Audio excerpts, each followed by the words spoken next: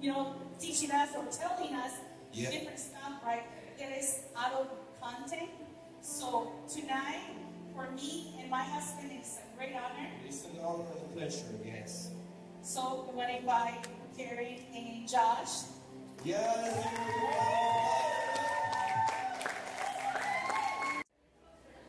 Alright guys, um, we're so excited to be here and so honored to be here.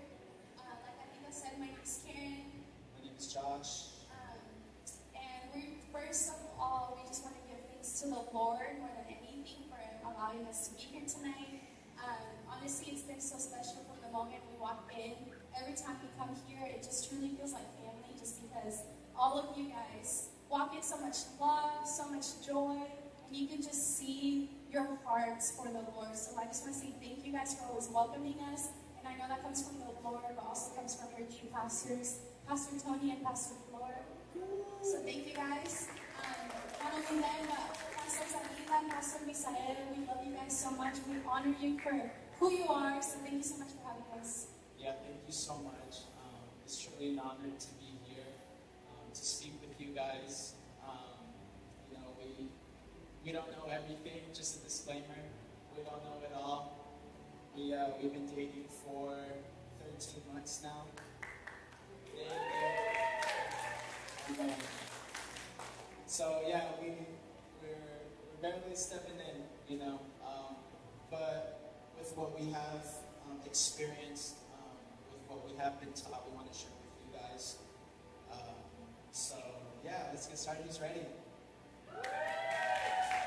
So, um, like Anita introduced today, uh, tonight, they asked us to talk about a very important topic in all of our lives, which is relationships.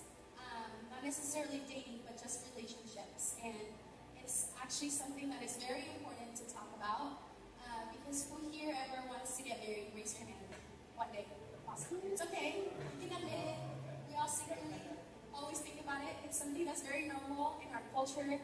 Um, something, you know, if you're in middle school, high school, one of the questions that you always get asked is like, who's your crush? What do you like? Did you see that cute guy? Did you see that cute girl? It's so normal in the world. Um, but not just in the world, it's actually something that is really God designed. He designed us all to be in relationship first and most of all with Him.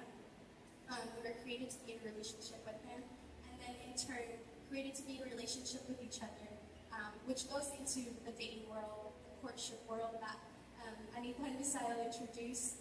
Um, so we're here to talk about it, and there is a few reasons why this topic is important.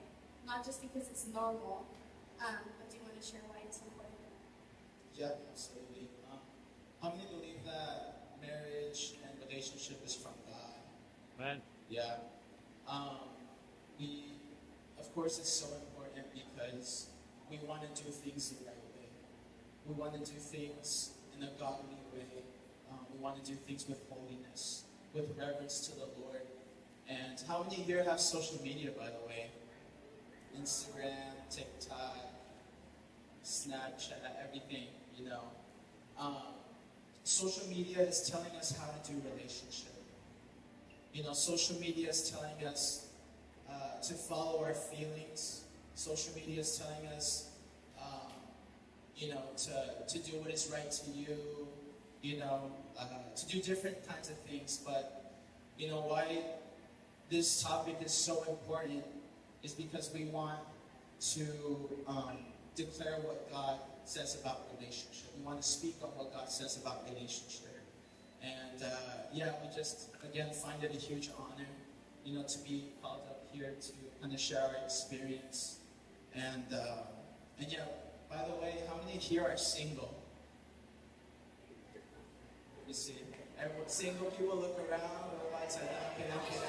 don't be shy. There's nothing to be ashamed of. How many here are single and ready to mingle? Uh, okay. Good answer, good answer. Um, how many here are in a relationship? In a dating relationship? How many here are talking to someone? you know, trying to conquistar, you know. How many here are married? We have a different crowd here. we have a different crowd here, so we hope that, I mean, yeah, that this message, you know, speaks to all of you guys. Um, yeah. So, Yeah, one thing too that before we're gonna pray before we get started, but one thing that is very common, especially growing up in church, like Anita said, there's certain things that aren't talked about uh, in full detail, you know, and a lot of times we just hear the the rules, you know, or the boundaries, like don't be dating, you're too young, don't be kissing someone, like um, don't be alone with a boy, don't be alone with a girl. We hear a lot of these things from our parents because they want to protect us, they want to guard our hearts, they want to guard, guard God's plan for our lives. However, we don't always understand why. You know, I mean, I definitely grew up hearing a lot of that, and I'm really thankful for it because it saved me from a lot it protected me from a lot. Um, however, I'm even more grateful now, truly understanding why it's so important and why they say don't do this, don't do that. It's truly because what God designed for us is so intentional and it's so special, and we don't want anything to distract us or hinder us from receiving what God wants us to experience, if that makes sense. Um, it's not so much about don't do this, don't do that. It's like, hey, there's something that God intentionally designed for us, and it's available for us at the right time, and that's what we want to pursue. And so we don't want to waste time or energy um, on something that is not that. And especially as Josh and I have been dating, we've truly been learning so much about the value of marriage. It says in um, Ephesians 5:25, husbands, love your wives as Christ loved the church. I don't know if you've ever heard that Bible verse before. I definitely had heard it many times, and it, to be honest, kind of not checked out, but I was like, oh, so cool, like that's what a husband's supposed to do, but doesn't apply to me now because I don't have a husband. However, it's actually so important because here it says, husbands, love your wives as Christ loved the church. Here it's telling us that even just by entering into a marriage, we're agreeing to be a picture of Christ, the love of Jesus for us. Like, think about that. Before we even married, that's something that's so valuable because the love of Jesus, the way that He showed His love for us, was by going to the cross and dying for us and then resurrecting um, and bringing us back to life with Him. And that's a picture, just marriage is a picture of that. And so it's so important, it's so valuable. And so we're just really excited to talk to you guys about that today. Um, but we're going to pray first. Um, and truly, our hope is that we walk out of here um, just more in love with Jesus, more in love with His design, more in love with His creation, and truly just in honor and reverence of who God is, and with a desire of wanting to live um, a life before Him. So, Amen. Let's pray. Heavenly Father, we give you thanks. Father, first of all, because you are here in this room. Thank you, Father, because um, your presence is here with us. Father, we believe that you want to speak. Father, we, we believe that you want to um, change mindsets tonight, Father. You want to change uh, truths, Father. Uh, Father, we believe that you are the way, the truth, and the life, Father. So we just open up our hearts. Father, we open up our mind. Jesus, uh, speak to us, Father. Show us new things. Father, reveal to us new things, my God. Uh, but most importantly, Father, just uh, demonstrate your word, Father, tonight, Lord. Father, so we just give you thanks, Lord. Uh, we love you, we honor you, we worship you. In Jesus' name we pray. Amen. Amen. You guys ready? Yeah, so just, uh, should we share how we met? yeah. Start up? Okay. Before we get started, Yeah. we're going to share a little bit of our story, who we are, how we met, Yeah. how we started dating. Um, so I've uh, I've moved here in like in this area um, in 2020.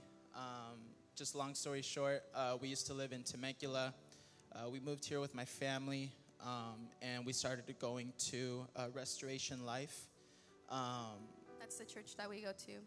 Yes, and um, yeah, uh, when I mean, when when I first uh, moved into the church, I mean, I didn't know Karen uh, per se. Like, it's it's It wasn't like love at first sight, you know.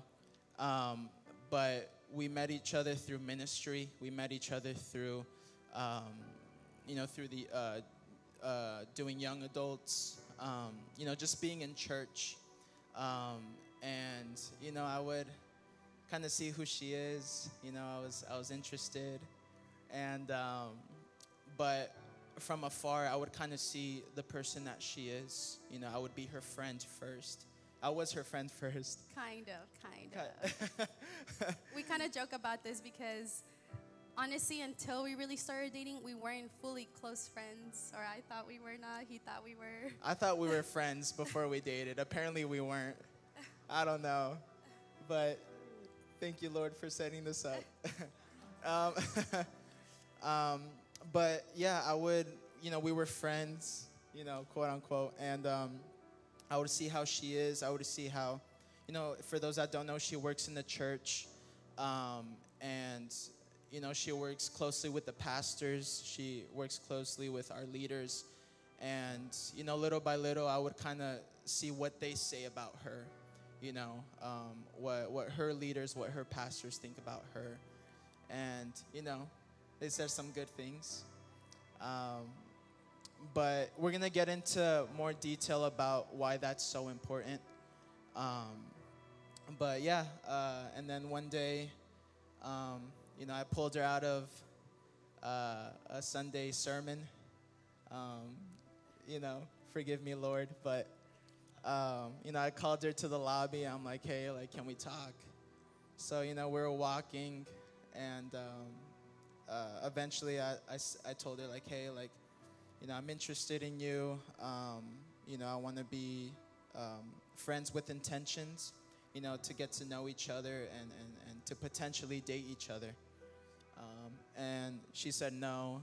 No, okay. no, I didn't. no, just. Um, but yeah, it, it, was very interesting because when I met Josh, we like he said we would serve a church together. You know, we yeah we would see each other on Sundays, basically at church. But we were not really like texting all the time, calling. It wasn't really like that. Um, it was really all ministry related until all of a sudden he just approached me and was very direct and just very straight up. And it's crazy because that's something that I had prayed about. I had just been like, Lord, I never want to pursue something. I don't want to ever like seek someone out or make something happen. Like, I just want to be doing my thing, like serving you, uh, living my life for you. And then if someone's interested, they can tell me. And that's literally what I told the Lord. And that's kind of what happened. Like, I mean, he just approached me and was so direct and was just like, hey, like, I'm interested in you. I want to get to know you better. Um, and yeah, the first thing I asked him is if he had prayed about it. He had. And so my response was just that I, I wanted time to think about it and pray about it because I didn't really think of him like that at that point. You know, it's not like I had all these feelings for him. Um, but that's how it started. He just straight up approached me. Um, and then I eventually talked to my leaders about it. Um, I was just like, hey, like, Josh told me this. What do you think? And um, they just spoke very highly of him. And they were like, it's not a bad thing to get to know someone, you know, do it the right way. And so we just started to get to know each other um, as friends in a friend group. We started texting, we started talking on the phone, um, getting to know each other. And then now here we are, 13 more, 13 months later, we're dating. But yeah, that's kind of how it happened. Praise God. Praise God. Isn't God good? um, awesome. So let's do it. Um, so, of course, before we started dating, we were single. You know, spoiler alert. But um, there's, um, how many believe that there's a purpose to singleness? You know, we want to talk about that with you guys. Um, so, if you guys are writing notes, please write notes. Um, media team, sorry, if you can go to the slide that says singleness so I could see the verses. Um, yeah, so we we have a few categories because you guys, dating is like a whole topic, okay? We can have so many series about it. So our, our hope is to, um, yeah, share what the Lord has shared with us. And so we have a few topics that we want to hit. Yeah. Um, but the first one is we want to talk about singleness. Before we even get to the finding someone part, we're single. And so we want to talk a little bit about that. Yeah. Um, if you guys have your Bibles or you guys can write this down, Um, it's in the book of Revelations, chapter 2, verse 4. I'm going to stand for this one if that's okay. He's ready. Um, not too long ago, before we get into this verse, um, you know, I was talking to someone. I, I had lunch with with a guy, and you know, he was kind of telling me that he was interested in someone, um, and he was just asking me like, "Man, what are the steps? Like, what do I do? You know, how's you know, uh, you know, my life is like this and like that. Am I ready?" Um, and and I thank God because the first verse that that he brought to my mind was Revelations chapter 2, verse 4. Um, and it says, Nevertheless, I have this against you that you have left your first love. And why did God bring um, this verse um, to my mind at that moment? Um, I believe that it, it is so important that you have your first love first, and that is Jesus before any other person, before thinking about relationship with, you know, with, with a guy, with a girl, um, you, you first have to be in love with Jesus. You have to learn how to be in love with Jesus. You know, if I, if I was to ask you, you know, uh, how do you love the Lord? Like, is, is God your, your first love? You know, um, and, and, and if I was to ask you, like, what do you think about the Lord? You know, would you talk to him like, or talk about him like you're in love with him? You know, um, and and that's why again this verse is so important because we have to have our first love uh, with the Lord first. Amen. Um, why singleness is so important is because of identity. Amen. Someone say identity. Identity is who you are in Christ okay? Identity means being whole in God. We've heard that sometimes that in a relationship it's two halves coming together and then becoming whole together. But let me tell you that you first must be whole in God. You first must be full uh, in the Lord, right? Before you get to be with someone, right? Because sometimes when we have emptiness inside of us, when there's something that we haven't dealt with yet, in our lives and we bring that into a, another relationship, then we look for fulfillment uh, in that area from that other person rather than the Lord. Do, do you, are you guys understanding? Amen. Um, so, again, identity, okay? Uh, real quick, if you just want to write it down, because we have so much to get through. Um, Psalms 139, verse 13 to 16 it talks about how we are fearfully and wonderfully made. Amen. And it's so important uh, that we know that. Amen. Uh, First Peter chapter 2, verse 9, it says that we are a chosen race, right? We are a priesthood, right, for the Lord. Amen. Um, so, something that um, I. Uh, I read from this book. It's called Singleness, um, Engaged, Mar- um, what is it? Singleness, Dating, Engaged, and uh, Marriage. Um, I forgot the author. You can ask me after. But something that was uh, noted in this book is how the Lord is our oxygen tank, right? Um, how the Lord is our oxygen tank. In other words, He is our source of life right? Um, and one was one must be. Uh, I'm sorry. So the Lord is our oxygen tank, right? Our source of life. He's the one we must be with every morning and every night, right? Without Him, we have no, uh, we have no life. We have no identity, right? Without Him, we have no, um, like we suffocate, right? How many know that without oxygen we suffocate? Right? So we need the Lord, right? We need the Lord to to continue to live. Um, and uh, so again, to talk to you guys about how we need the Lord, and and sometimes we can't we can't give um, how, how do you say? It? We can't give um, God-sized needs to people, right? We got we can't give God-sized needs to people. In other words, there is things that man cannot fulfill in your life, that a woman can't fulfill in your life, right? That only God can. Amen. We, we talked a little bit about it, right? He gives you identity, right? Um, and a specific verse that I want to talk to you guys about is in the book of Psalms, chapter 23. How many know Psalms 23? Right? They teach us in Sunday school. Our mothers pray that over us sometimes. Um, what's it say? The Lord is my shepherd, I shall not want. Right? He makes me lie down in green pastures, He leads me beside still waters. But I want you guys to pay attention to verse 3. Right? It, it says that He restores my soul. Verse 3 again, it says, He restores my soul. In other words, only God can restore your soul right? Only God can restore your feelings, right? Only God can restore your your mind, your heart. Only God can give you peace, right? Do you are you guys understanding? So, the scripture literally says that He restores my soul. Amen.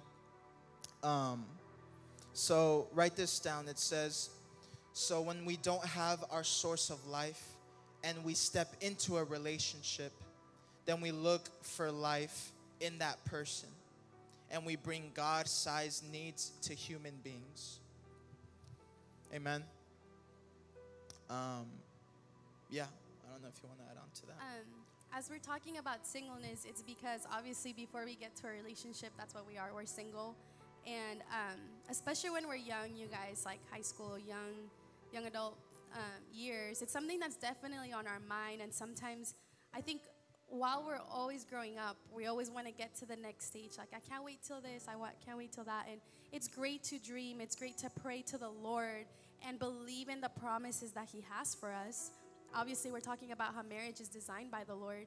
However, every season that we're in is so important and it's so valuable. So, being 12, being 13, 14, 15, like every single year that we experience is so important and it's so valuable and my advice to you guys would be whatever age you, you are enjoy where you are especially when we're young and we have energy and we can run like literally physically run and stay up late and wake up early and do all the things we need to do these are the best years. Well, every year is the best year to give to the Lord. But when we're young, it's so worth it to give your young years to the Lord.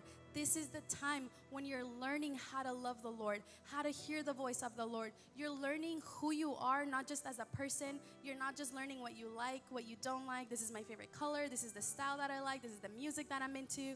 But we're learning our identity in the Lord. We're discovering because he we are who we are from the moment God designs us, but as we're growing up, we're discovering how God created us, who he made us. And these are this is the best time you guys when you're single to pursue the Lord with everything you have because let me tell you it's the most worth thing ever. I am so so grateful that I I can say like I spend my young years learning about the Lord and knowing who He was, wasting my desires on the Lord, praying prayers that I'm seeing being fulfilled now, but I prayed them when I was like 15 years old, 18 years old. Um, there's nothing better than setting your mind on Him. Like right now, we when we're young, we really shouldn't be pursuing anything other than the Lord because, like Josh is saying, He is our source of life. And if we wait until we're with someone or until we're 30, 40 to find our source of life, it's like, man, we live all of these years without that source. But having the time, you guys, like when we're young, we have so much time. We have so much freedom. Like you're you're not working as hard because you don't have to provide for a whole family yet. You're not um, yeah, you're studying, please study, spend your time doing that. But we just have so much more attention to give, and there's nothing better to give your attention to than the Lord. Um, more, first and foremost. But when you're single is the time when you can build friends, like make good friendships. Um, continue to dis- discover like how the Lord created you. Um, because at the end of the day, when you do get to the point where you're like maybe ready to um, start looking for a relationship, we don't attract who we we just don't attract who we want, but we attract who we are. And if we don't know who we are, we don't know what we're gonna attract. We're not we're not even gonna know what we want in somebody else if we don't even know who we are first. And so. Good. I think I just went off a little bit on a ramble on the serving the Lord in your young years, but it's truly so important um, because it's not time wasted. Like, no time spent on the Lord is wasted. And trust me, you guys, like, there's no rush. There is no rush because once you start to get into a relationship with someone, it's not just you anymore. You're really combining your life with somebody else's.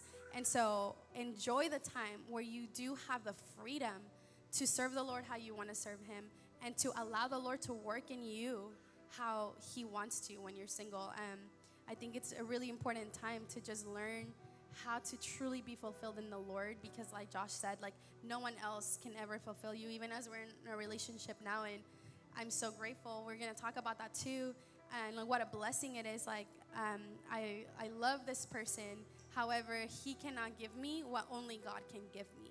Like as much as it.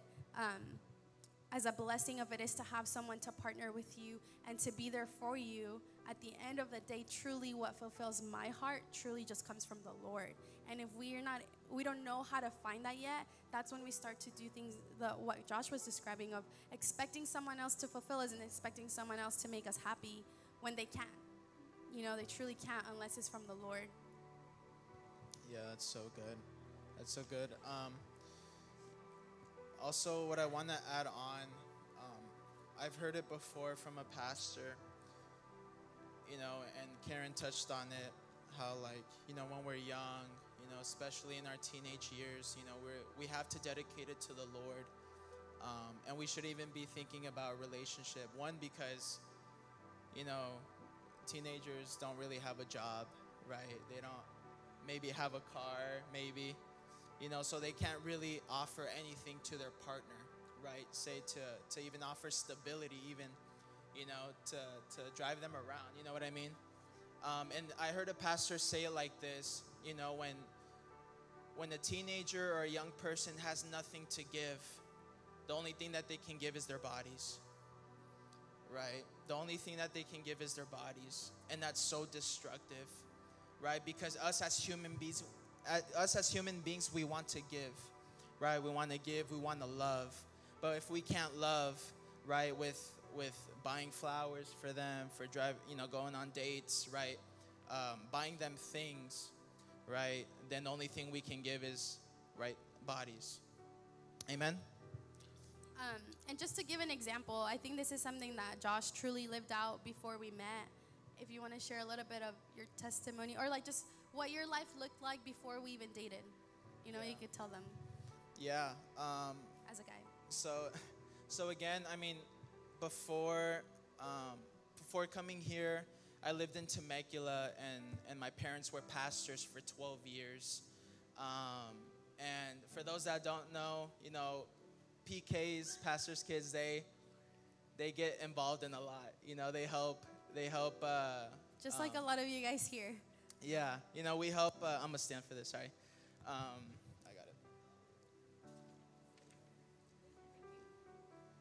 Um, you know, we we help a lot with um, me and my brother. We helped a lot with the church, and um, it wasn't until the age of 16 that I truly had a relationship with the Lord. Um, you know, I, I grew up uh, in the church. Um, you know, I knew of God right? I would go to sun, I would go to Sunday service, uh, Sunday school, you know, my my entire life, but I never truly had a relationship with the Lord, right? Just how we we um, read in Revelation chapter two, verse four, right? Finding your first love. Um, so it wasn't until the age of 16, um, you know, that I had my relationship with the Lord, and and at the also at the age of 16, my parents started putting me to preach on Sundays, you know, for for a Sunday uh, service. And I mean, I'm so grateful. It, it was so amazing. Um, and I was part of the worship team at the age of 12. Um, and uh, little by little, you know, as I was kind of like the church was my second home. Like I could literally like bring a pillow here and and a blanket, you know, and, and the next day we have church service, right? And the day after we have church service, and then and the next day we have church service, you know. So so again, you know, the church was my second home. Um, but you know, I was involved in a lot, right? I was I started playing uh, drums at the age of, age of 11. Uh, my mom put me in classes of, of, piano. So I was just involved in so much. Um, but I'm so grateful because that took my time, right? That, that, that took my time to learn.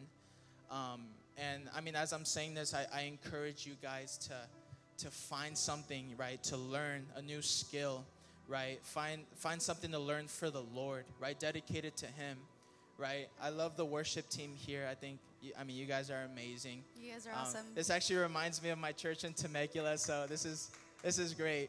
Um, but I just love the worship team. I mean, you guys did amazing, and it just reminds me of you know when I was in my teenage years. You know when all I knew was was, was being like having an instrument um, in front of me, um, and and giving it to the Lord, right? So. Um, yeah, that's kind of, I mean, my story. And, um, you know, through- Basically, he was yeah. pretty busy. I was busy. Too busy to be dating. I was very busy. And my parents were strict. So thank, thank God for that too. Um, yeah, so. Yeah, I'll talk a little bit more about what my life looked like when I was single, but um, we just really kind of wanted to emphasize that singleness because it's so important. And sometimes, especially as young people, we are thinking about all the relationships and things like that. And we definitely, there is a time and a place for everything, like the Bible says. Um, but truly not wasting those years, you guys. Like, it's such a gift. It's a gift to be single, it's a gift to just be who you are, honestly. Like who the Lord created you to be. There's nothing more fun than that. And you continue to be that for the rest of your life. Just changes a little bit. And so, um, if you're young, you're single right now, enjoy it. If you're in a relationship, we're not telling you to go break up with your boyfriend, like we said. We're not God. We don't we don't know everything. Um, we're just here to share from experience and what we've been learning um, as we grow together. And so, um, we are gonna get to talking about dating right now. I know that's what we're talking about. Um, so we want to introduce this term called courtship, which is like Anita and Misael said, and um, in the culture, in like in society, social media, we hear dating, the word dating, all the time. So we're gonna use that term uh, to talk about culture. But we really want to talk about what the Bible says, how God sees it, and if we're being fully honest, there's not really a lot of scriptures that talk about the dating period. Talks a lot about marriage and really a lot about living life as a Christian, as a follower of Jesus. Not a whole lot about the when you're getting to know someone and all of that. But there are biblical principles um, about living like the lifestyle of a Christian and about marriage and how to choose a spouse and values that we as women and men should have. And so we want to talk about those. And we're going to use the term courtship. That's kind of one that we've learned and we've been trying to walk in. And so um, they're two very different things, though dating and courtship. Um, one of the main things is, um, I wrote it down, so let me see, is that in culture, in dating, mainly, you know, and this is like our high school friends. Come on, you guys. Not all of our friends know Jesus. We've all been there, you know. But when people talk about dating, a lot of the times the goal of dating it's just to have fun it's to have a good dating life you know enjoy getting to know someone but the goal can kind of be summed into fun however biblical terms courtship finding a person or getting to know someone the goal of that is marriage and that really changes things because us getting to know each other the goal was not just to have a good time the goal was not just like, oh, let me talk to this guy, like he's interested, let's just see how it goes. No, the goal, even at the very beginning, I might not know if I'm gonna marry this person, that's not what we're saying. But the goal is to see if you can potentially marry someone. And we talked about how valuable marriage is to the Lord. And there's so much scripture about that because the Lord values covenant, He values that commitment that we make to Him and then in turn to each other. And so that's really one of the main differences is that dating is about fun. However, courtship, finding someone, is about marriage. That's the end goal. Um, of uh, why we even enter into a courtship relationship. And so, um, the reason, one of the reasons why courtship is so important is because it has a purpose. There's a purpose. It's not just for funsies. And when you have a purpose, it just saves you a lot of time, you know? Um, it saves you a lot of feelings. You don't waste your feelings. You don't waste somebody's time. You don't waste your own time. Um, you don't get hurt necessarily because you're there's a mutual agreement. Um, yeah. um, and uh, we just want to talk about before we get into we're going to talk about some levels of courtship of what it what the flow should be like. But we just want to share some differences between dating and courtship before we get there. Um, and one of them is um, that dating involves your friends a lot right? And your feelings. It's like oh my gosh i met this guy. He's so cute. I start dating him. And you talk about it with your friends. What do you think oh my gosh no i don't like him for you you know all the things uh, that girls talk about, guys talk about. Uh, she seems cool. No, she doesn't seem cool. It involves a lot of your friends, like, and your feelings, how you feel, you how you think you feel about somebody, what their vibe is. You know, like they're cool, they're not cool. However, courtship actually involves your parents and your mentors and your leaders. Which, as a young person, you're like, ugh, I don't want to ask my mom about this girl that I like. Maybe, maybe you do have a relationship with your parents. I encourage it but in courtship, that's something that's actually very valuable. It involves the people that love you, the people who care about you and want what's best for you. I think that's something both Josh and I really did is talk to. I mean, my sister's here, Marianne, raise your hand. She's the best. he has a really he has a brother that he's really close to as well and from the very beginning, I talked to my sister about it. I talked to my mom about it right away. Actually, the first person that I well, I don't know the first person, but I went to my pastor right away like, "Hey, Josh approached me. He told me this. What do you think? And it was actually my pastor who was like, hey, I've told you no about a lot of guys before, but if I was going to give my yes to someone, it's him. And I, that really meant a lot to me. Um, he's all happy. That really meant a lot to me because I trust my pastor. Um, I have a close friendship and relationship with him and his wife, Pastor Roxanne. And so for them to see that and tell me that, that gave me a lot of peace. Um, and so in courtship, that's something that's very important. It's that it involves the people who care about you. And the reason why that's important is because the more advice you get, the more um, support you get from the people who care about you, the less hurt you'll be because if something goes wrong, they're gonna be there for you. And they're even gonna warn you. You know, they're gonna see things beyond your feelings. So it sounds scary to be like, tell your pastor or your leader um, or your mentor or your parents about someone that you like. Um, and it can be scary because it's a vulnerable thing to say, like, hey, like, I'm thinking about this. However, it's so worth it because it invites um, godly counsel, counsel into your life. People that are not just going to tell you what you want to hear, but people who are going to tell you uh, and encourage you in a godly way from what the Lord says, what the Bible says, and people who are going to pray for you. Oh my gosh, it takes so much prayer to be in a courtship. And, um, so that's one of the differences is in dating sometimes you kind of keep it to yourselves it's very casual like among your friends maybe you'll start telling your family um, however you're not really asking them for um, or inviting them to speak into your life um, do you want to tell them the next one Yeah. difference Um, between the two Courtship involves sacrifice, it involves serving, and involves commitment. Um, and just as Karen was sharing, you know, dating, um, culture sees dating as having fun, you know, like, you know, giving, um, you know, a little bit of me and then not, you know, kind of just being undecisive, right, with, with what you want and, and what you're looking for in the relationship. Um, but courtship is, is, is clear, right? Courtship is intentional.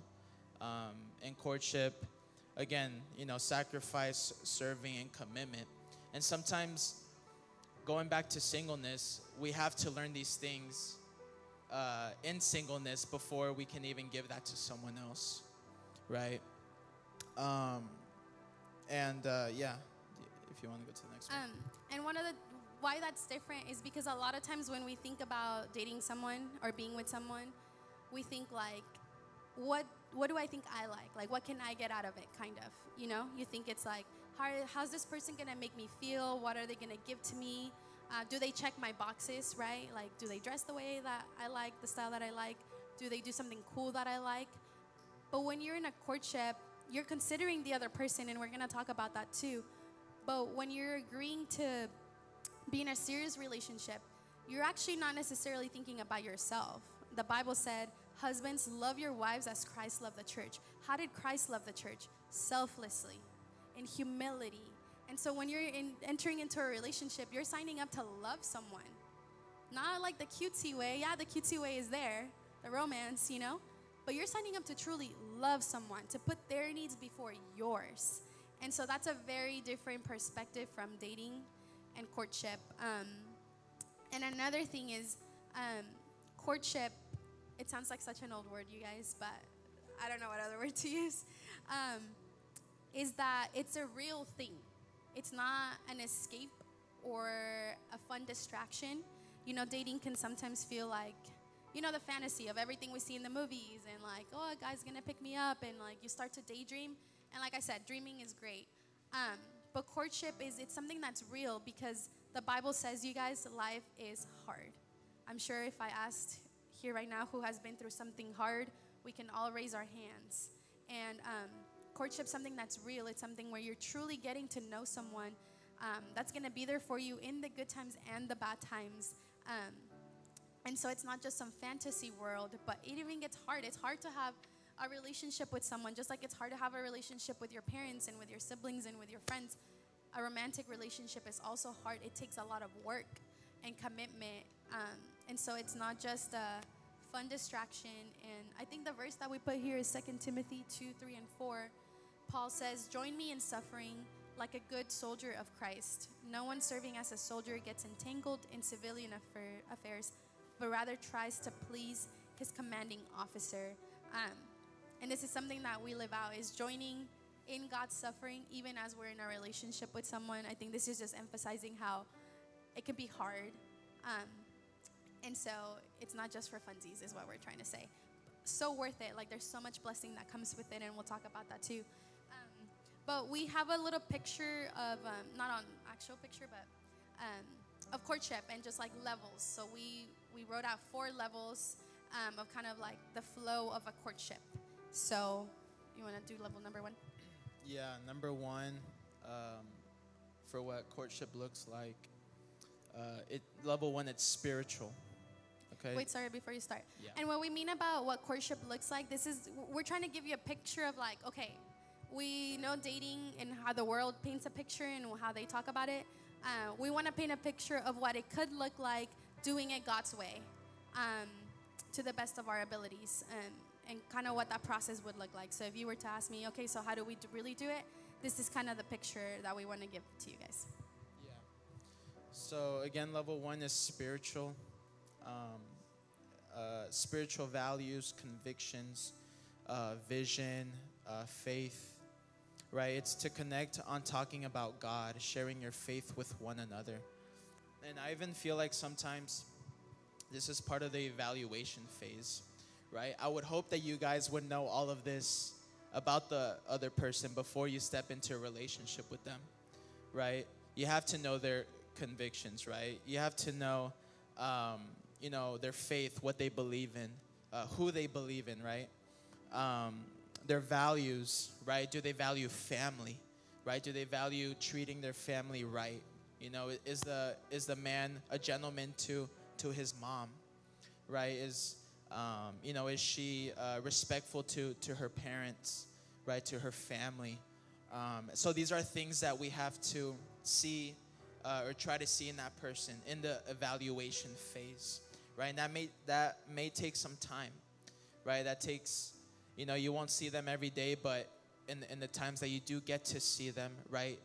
Uh, uh, find out these things. Again, what do their uh, leaders, their pastors, their mentors say about them in these things? Um, so yeah, even just connecting in this and knowing this about each other in the beginning of your courtship. Yeah. So level one, when you do, let's say, you want to enter into a courtship with someone, it's connecting with them on a God level, like having God conversations, like connecting on that first. And it doesn't mean like, I'm not gonna say that, but um, just connecting on that level, like before anything, truly, like what are your values? What does your faith look like? Your work, walk with the Lord. But level two um, is social. So getting to know each other's personality, getting to know each other's character, hanging out with friends, going out and doing like fun things um, before you even get to anything cutesy or whatever. But truly, like getting to know who they are as a person, um, activities, sharing hobbies. Um, that's pretty much it. Like getting to know even like um, how do they relate to their family, but just really on a social level. Um, seeing like do we even get along type of thing you know just like truly their personality before even really going on a date or hanging out but like sharing actual activities together um, to get to know who this person is beyond because you're like whoa maybe this person really loves the lord but wow we don't really have much else to talk about you know like we can't share a laugh together or things like that because that's also really important. I mean you're finding a friend. You're finding someone that you can do life with right? Like for the rest of your life. So you kind of have to have a little bit of fun with them. Um, Yeah, you gotta laugh at their jokes, right? Are they funny? Right? You laugh at my jokes, right? Sometimes Sometimes. kidding. I'm trying though. Um, but yeah, I mean that's so good. Uh, level three is emotional. Um, so in level three, you start to share feelings, right? You grow in emotional affection. Um, almost, this is kind of almost to the engagement uh, phase. Um, when you guys have the, um, say the the conversation, you know, do we want to take this further, and are we looking to, you know, one day be married? Okay, you know, what does that look like, right? So that's kind of this conversation, right? Uh, the emotional aspect, the engagement uh, aspect. Um, right here, it says when you really develop feelings, um, and also you are both in an agreement to what the next steps look like. Yeah. Yeah. So after you get to know them, like spiritual level, social level, it's like, oh, now you really have feelings for this person, and you actually start now you start to share them with each other. That's the, yeah, you share your feelings with each other, um, and then level four is really doesn't really happen until marriage when it's the physical part where now you get to share your bodies with each other because now you're married. Um, but up until that point, all you've really shared is your faith with the Lord, your your walk with Jesus. Um, you as a person, you get to enjoy each other's personalities, each other's characters, each other's families and friends. You start to share your feelings for one another, and then you really make that decision of like, yes, I want to do this with you. And then is the step where you actually, um, the physical comes into aspect. You know, more high fives and uh, hugs and stuff. um, no, but truly, like that until marriage, that's when that really happens. But that's when you, at this point, you already really know everything else about the person and you're ready to give yourselves and they're ready to give themselves to you. And that's why it's so beautiful because it's now you're committed, now you have the chance to do that. And if you really think about it, in the dating world, the world, it does it backwards, right? First is the physical. Oh my gosh, they're so cute. Let me go and kiss them, right? Then it's the um, I like you so much. She likes me too. You start sharing your feelings first, and then you're like, oh, you like that? Oh, you're like that? Oh, you're not funny, or you know, it's it's, it's way backwards. And then God comes at the very end, you know. But the way that the Bible talks about it, what does the Bible say? It's God first, always. And so, even in our um, getting to know someone that we may be interested in, that still comes first because that's always going to be first in our own hearts. God is our priority, and so we have to make sure that that's a priority in their lives too before we even get anywhere. Um, so, again, those are like the first uh, or the four levels of courtship um, and what that could look like. Um, And even the Bible talks about like don't be unequally yoked, right? How many have heard that verse before? Um, and again, it's so true what Karen was saying. Like sometimes the world has this backwards, right? First it's physical, emotional, right? Then maybe you share some activities, and by the time you know it, you know, like you're just learning that this person is an atheist, or you're just learning that this person is, you know, like just has a different religion, a different faith, and a different belief than you right? When in reality, right, again, the Bible says don't be unequally yoked. So you have to find out is this person, you know, uh, also, you know, believe in God, right? Um, is this person in love with Jesus?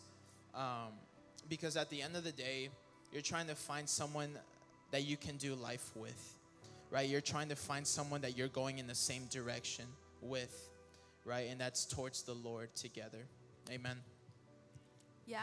So we're gonna get into some practicals, uh, like maybe some tips on like what to look for in someone eventually, um, and practicals for where you are right now.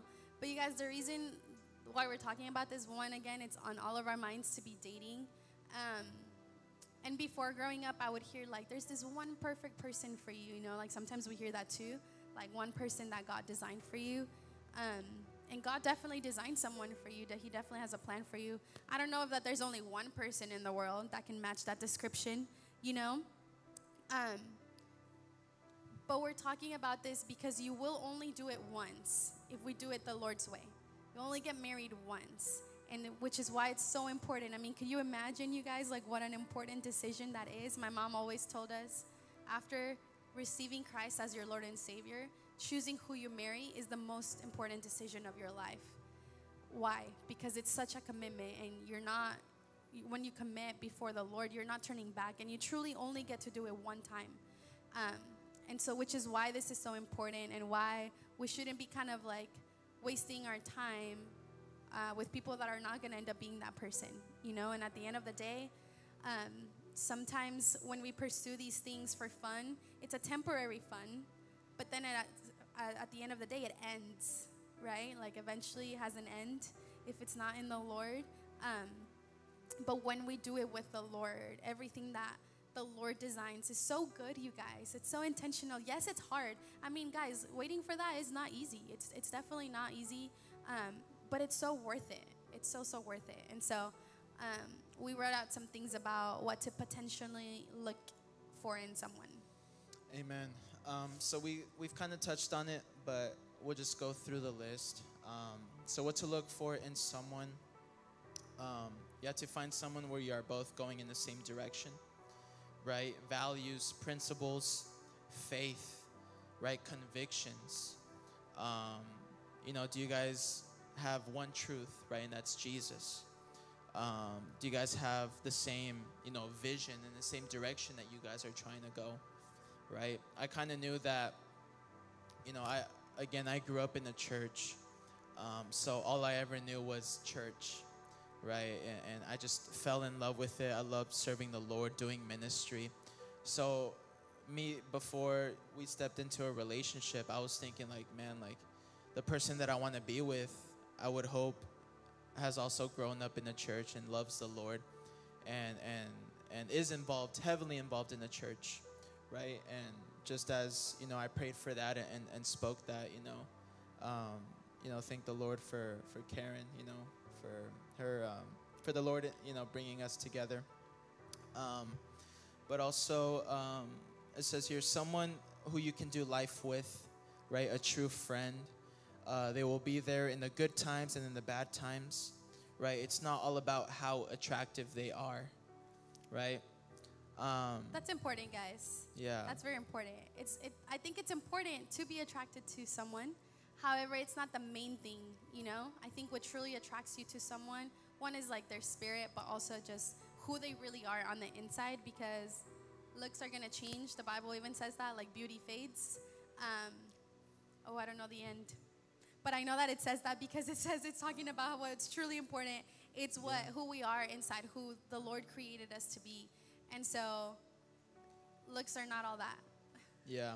Um, a quick story. Um, one time we had a, a creative meeting um, at our church, at our, one of our pastors' backyards. Um, we had like a little meeting, um, and it was just all the creative people, those that worked with uh, production, social media, um, and and uh, there's quite a few people there. I'd say maybe like 15 to 20 people, and I arrived late, um, but I was there. Um, I was with family, so you know I, I had to arrive late. But, anyways, um, our pastor was asking every single person there, you know, how, how do you see yourself in five years, right? Um, and this is something that he he told everyone, right? But he told them in the beginning. I wasn't even there, so when I arrived, he asked me, you know, he he called me on the spot. He's like, "Hey, Josh, I asked everyone this." you know, uh, where where do you want to be in five years? And I said, um, you know, wherever the Lord takes me, right? Where you know wherever the Lord leads me. Uh, and Pastor, um, for those our friends that are here, it was, it was Pastor Max, and um, and he was like, when I when I said that, he was like, okay, Karen, and I'm like, I mean, what the heck? So this was before obviously we were dating, um, but she had the same answer too. So we are like the only two. I had two. answered that the same thing. Literally, we said it almost the same way, but um, he said it when he got there way later, Yeah. and he didn't know. But it was just so funny that he remembered that because that was such a long time ago. Oh my gosh, yeah. way before we, yeah, dated. But even there, you know, we're we're connected in some way, you know. Praise God. Um, so, also, um, again, what I've told you guys: don't be unequally yoked. Um, this will only lead to your relationship with God being hindered or lead to compromise. Um, me growing up in the church, I've seen marriages that have been unequally yoked, right? I've seen uh, the wives coming to church, you know, for our Monday prayer, our Sunday service, while the husband is, is, is home, right? Just, you know, not, not doing anything with the Lord.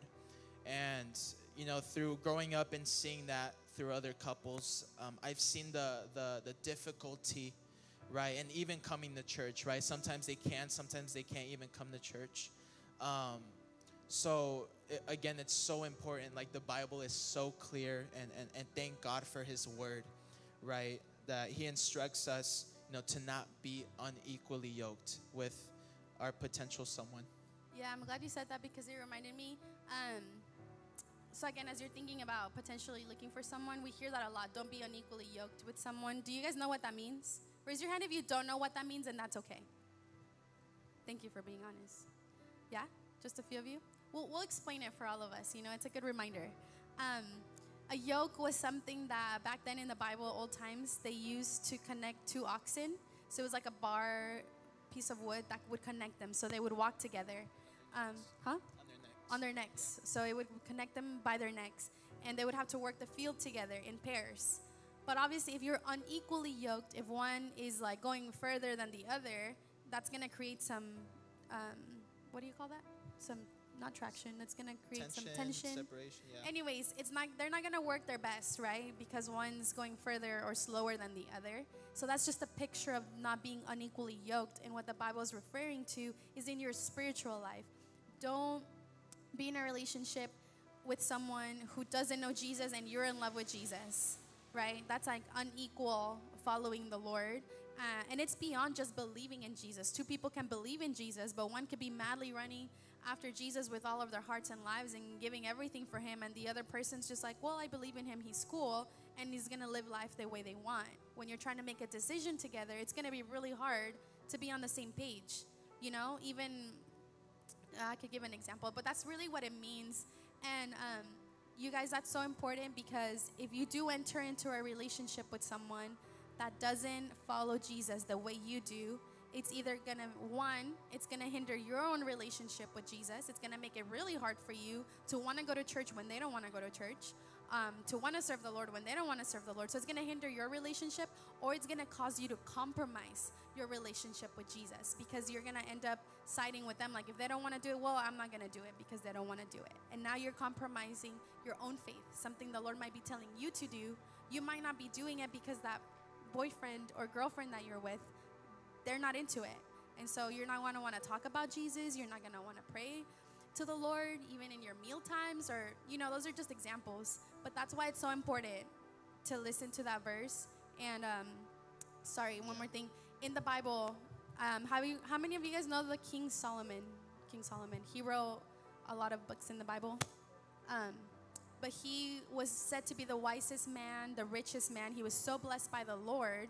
Um, he had many wives, but the Lord had told the people, the people of Israel at the time, not to marry someone outside of their people. Right? That was like a rule that God had given them, and it really blew my mind because one day I understood why. And it's because when they married someone outside of their culture, outside of their people, they ended up following other gods that wasn't the one true God. It's because they were deterred from following the one God that they knew and they were in love with, somehow they got twisted into following and praising other gods. Why? Because they entered into relationships with people who followed those gods. And sometimes, even for us, and nowadays, you know, it could look like I'm so madly in love with Jesus, but I start dating this guy and he's super into drugs or certain movies or something, and then now becomes my God. You know, I'm not following Jesus. I'm not allowing Jesus to bring me peace. I'm finding peace in the drugs that my boyfriend's giving me. Does that make sense? Um, it just really comes. So when the Lord says that, it's not as a because it's like such like a um, not to be a bummer, you know, not to give you like a bad rule. It's because He wants to protect our relationship with God. Everything that God tells us is because He wants to protect our hearts. Um, because that's what he desires the most. He's so jealous for our hearts. He wants all of our attention. He wants all of our love. And so when he tells us to do something or not to do something, it's not to be some annoying, like, God that's telling us what to do. No, he's giving us advice on how to stay in that love that we love so much that comes from him. That's so good. Isn't she amazing? Um, how much time do we have, by the way? We're almost done. Before we want to do a Q and A, Yes. um, but we want to leave enough time for that. You said that I can have two hours. You said no. no. um, no, real quickly um, before we get to the practical steps and we're about to close. Um, something I want to share and something that Karen started touching on, um, and I'm gonna stand for this. um, I think I know what it is. It's pretty good. so King Solomon, um, we see that, you know, he he departed from the Lord, right? Because he introduced um, wives, right, that were from a different culture that worship different gods, right? So we see Solomon, even the wisest man, right? Yet, if you guys don't know, um, the Bible tells us to flee from sexual temptation, right? If you guys don't know, the Bible says flee from sexual temptation. You know what flee means? It means run for your life. You know, run for your life. Um, and it's so, so important why that is so, like, why we understand that is so true. Again, King Solomon, the wisest man literally in the whole world, yet he still fell through sexual temptation, through, right, uh, introducing, introducing, uh, you know, different wives, right, into his life. King Solomon, right? How many know who who uh, who Samson is? Right, strongest man in the world, right? Yet he also fell because of a woman, right? He also fell because of sexual uh, uh, temptation, right? He didn't run away, he didn't flee, right? How many know who King David is? What, uh, what was King David known for? What, what about his heart? A heart after God, right? But even he, did he fall? He fell from sexual temptation. So even though you can be the wisest person, you can be the strongest person, or you can even have a heart after God, but yet the Bible is so clear to flee from sexual temptation. Oh, I, w- I wish I heard an amen there. but it's so true what the Bible says to run away. Any, even anything that is not from the Lord, right? Don't get in a fight with it, but run away for, for your life, for your salvation. Amen. All right. So as we close, before we do Q and A or pray, whichever way you guys want to do it, um, we're gonna probably repeat ourselves a little bit, but these are just like the last nuggets we want to leave you with. Um, so for wherever you are right now, um, just some practical things that you can be focusing on, and we want to encourage you as well at the end. But step, practical step number one. Yeah, number one, um, make friendships, right? Make friends.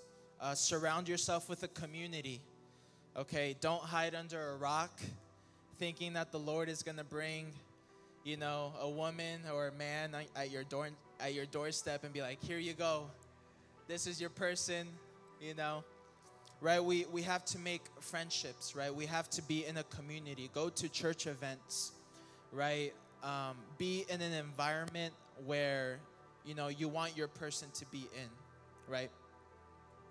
Yeah, guys, if you're single, have fun, man. Like, go to all the theme parks, take trips, read a book, watch movies, uh, have so much fun. Read like, make friends, read some books, spend time with your family. Like, again, this is where you have the freedom to just enjoy, um, serve the Lord. You know, come to church and paint, sweep, come serve on the worship team, learn an instrument, whatever it is.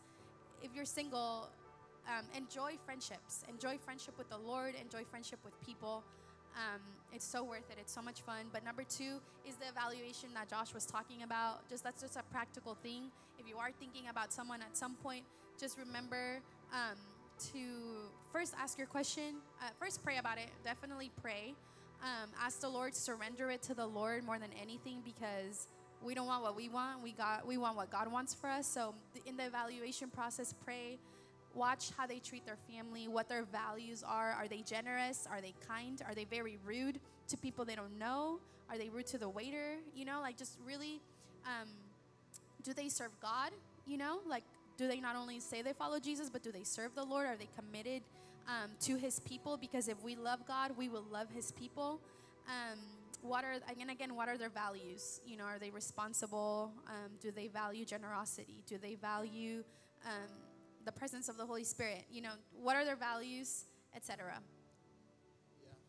Number three, um, what does your leadership or your pastor say? So, this is something that we've said. Um, you know, when you think you are ready or, or when you're ready to approach someone, right, go to your leaders first, right? Do, you know, do they say that you are ready, right? Do they say that they are ready, right? Like, because you can, you know, you can be ready financially, spiritually, and all that, but maybe the person that you want to pursue is not there yet. Maybe they're dealing with something or they had to go through, you know, they're still going through something. Um, quick story uh, my mom and my dad, uh, before they met, um, they met at a wedding um, and they went to different churches. But something that my dad did before that, before he went to my mom, um, was that he went to her leaders. He went to her pastor and said, "Hey, I'm interested in in in, in Gloria, you know," and um, and uh, you know they they told him, you know, if she is ready, right? Um, so I think I just think that is so important, right? Accountability, your leaders, right, that are there to look after you. And then number another thing that um, practical step for where you are right now is to pray. You guys, I know we pray a lot, but that's that's what our life is. Um, but pray for the person that you will have. Pray um, that you're the person that you become the person that God wants you to become. Um, but also um, surrender to the Lord. If you do have that desire, we all have that desire. In prayer, surrender that to the Lord and put your hope in Him. Guys, He hears our prayers. He really does. I was reminded of that tonight as we were in worship that He hears um, when we speak to Him, when we're so vulnerable and we say, Jesus, this is, or like, Father, like, this is what I'm feeling. This is what I desire one day. He's so kind, you guys, and He hears our prayers. He knows our desires more than anybody else, and He cares about them. He doesn't just know them, He cares about them. So pray about it, tell Him about it. Don't try to do it on your own timing. If it's not the right time right now, if you're still young, that's okay. Um, but wait on the Lord. Wait for His timing because He truly knows what's best. And waiting doesn't mean you're just gonna sit around and be sad until it happens. No, wait expectantly. Wait having fun with what we just said. Like spend your time serving the Lord, um, and trust trust in Him. Trust in Him. When you don't see it happening, when you don't see it going your way, or you don't want to do something that you want, or you want to do something, um, and it, you know it's not the time, just trust Him. Um, uh, number five, right? Yeah. uh, work on yourself, right? Mature, right? Learn what forgiveness is. Learn what um, what even unforgiveness is, right? And, and and and see the dangers in that, right? Learn what bitterness is. Learn what mercy, what serving other people looks like, right? So mature spiritually, mature emotionally, financially. um, convictions, right? Have your convictions. Know what the Word of God says, right? If you don't know what, what the Word of God says, then how can you how can you do relationship with someone, right? How can you do it the right way? So again, develop your convictions. Uh, relationship with the Lord, right? Your first love. Everything that you do, either in relationship or anything in life, has to come from first the Lord. Has to come from your first love. Amen. Um, pursue God's heart and be devoted to Him. Okay, allow God to work even in you, even while you wait. First Thessalonians chapter 4, verse 3 and 4, it says, It is God's will that you should be sanctified. Say sanctified. That you should avoid sexual immorality. That each of you should learn to control your own body in a way that is holy and honorable. Romans chapter 13, verse 14 says, Rather clothe yourselves with the Lord Jesus Christ and do not think about how to gratify the desires of the flesh. Um, yeah, if you want to add on to that. Yeah, last verse and last thing we'll leave you with is um, a scripture that is in Songs of Solomon 8 4. Um, it says, I adjure you, O daughters of Jerusalem, that you do not stir up or awaken love until it pleases. Um, the book of Songs of Solomon talks about the love between a man and a woman, but it has this verse that says, Don't awaken that love until it pleases. Don't awaken that love until it's time. You don't awake that part of yourself, if you don't entertain it, um, it's not really going to be so active in your life. And so, and you don't really need to awaken it until it's time. And so, that's truly, as we wait, something that's really important. But we just want to um, share with you guys waiting is not always easy, um, and we don't do the things the world the way the world does them. You know, we don't. We don't follow what TikTok, what the Netflix shows um, show us with all the cute movies or all the cool guy movies uh, that talk about show relationships too. Um, they're fun to watch. You know, we we we're around it, but we're not of that world. Um, and we don't do things the way the world does them. We do. We want to do them the way God designed them, and that's not always easy. Again, our battle is not against flesh and blood, it's a spiritual battle, and we're, we're in a battle daily as we live life for the Lord. But it's so worth it, you guys, because our prize, um, our reward is always the Lord. And so if you're a young person right now, um, maybe you're not even thinking about dating, but maybe you are. We just want to encourage you. This is something that will eventually come, but we just encourage you to just seek the Lord. I mean, in simplicity, seek the Lord, read His Word. He tells us what to do right there. Um, we don't have to go anywhere else. Uh, build good relationships with your leaders. Anita and Misael are so amazing. Uh, build good relationships with each other. Be honest with each other. It's okay to be vulnerable. No one's going to shame you um, if they're your friend. Um, and yeah, if you guys have any questions, we would love to answer them. I don't know if we have time, but we'd definitely love to pray. Um, what would you guys like to do? Um, or maybe, do you guys are? Is there anyone here though? Like after everything that we shared, do you guys just have a question that maybe is burning on your heart or that you had before? Yeah.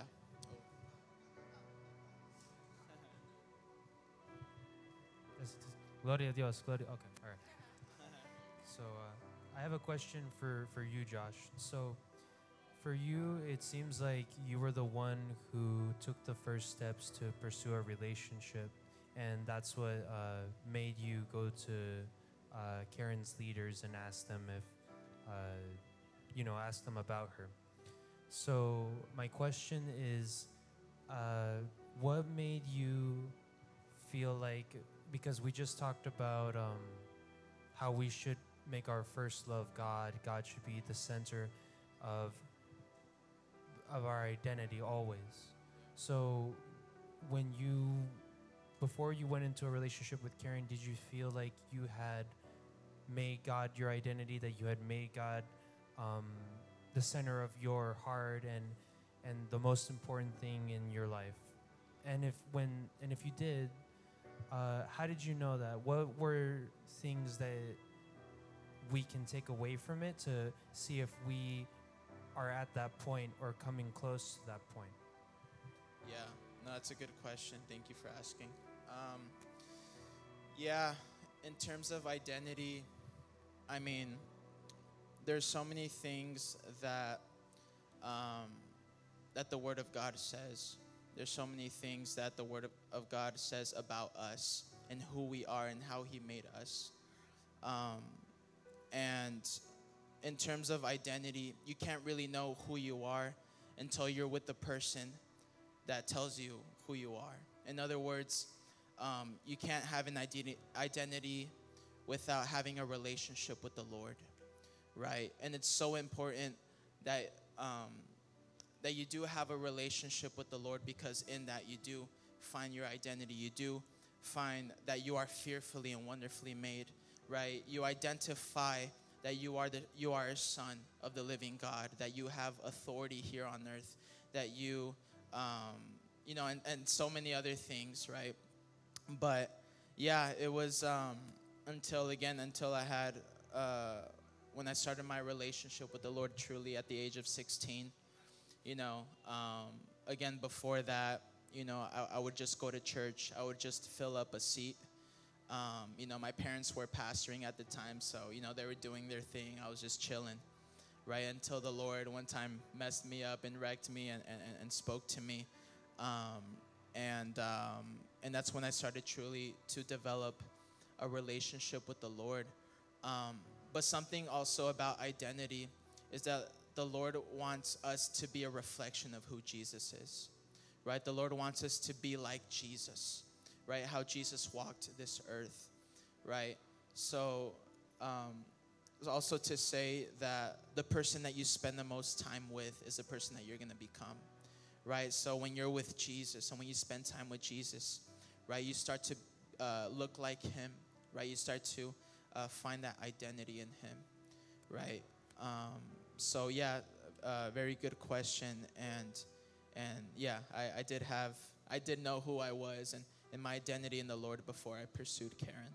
Um, just to follow up his question, though, I think he was also asking, how did you know that you knew that, though? Like, how, how were you sure that you already knew your identity? how would they know if they know that? If that. How do you know that that you have your identity? Well, I mean, I think it's it's just truly knowing, you know, who the Lord says who you are, right?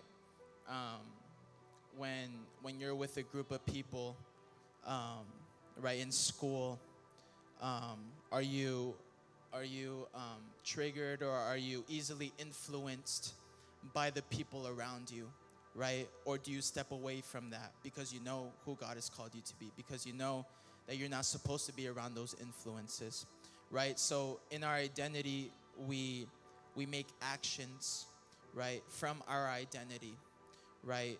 Um, if the Lord has called us to flee from sexual immorality, right? Do are we easily um, tempted in that, or do we flee? right? That's also in knowing and having that identity. You know what I mean? Does that answer your question? Yeah. Yeah, so it's your actions, right? It's your actions and and from your identity, right? Yeah.